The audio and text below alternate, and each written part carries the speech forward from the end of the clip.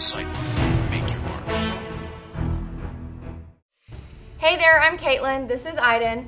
I've got the new Sightmark Rapid Series 3 to 12 by 32 rifle scope.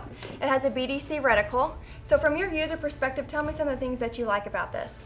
First of all, you got a 3 to 12, and uh, one of the things that you can notice right away uh, starting kind of at the back of the scope here is when you make the adjustments for magnification, the adjustments are really easy. Instead of having to just fiddle with this little area, you got you can move the whole eyepiece itself which makes it a lot more simple. Um, as we move a little bit further forward up here on this side, you have a lit reticle, and there's about nine settings roughly in there, plus the off position.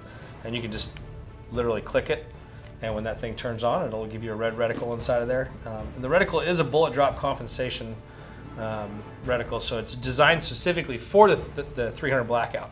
So whether you're shooting subsonic, that might change a little bit, but that's okay. If you need to resight it in, or if you need to, to make adjustments based on that, you can basically sight it in. Uh, the turrets just pop up, and you can twist them. Uh, once you get it exactly where you like it, you just push it in down position, take a screwdriver, unscrew, and reset this back on zero, and then go ahead and screw this back on top.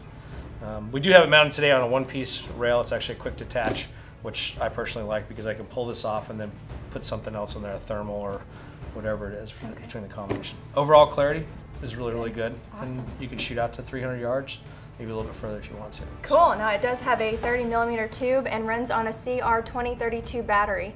And that's just a little bit about what the new Sightmark Rapid Series 3 to 12 by 32 rifle scope is. Thanks for joining us today. Check out sightmark.com for more information on our products.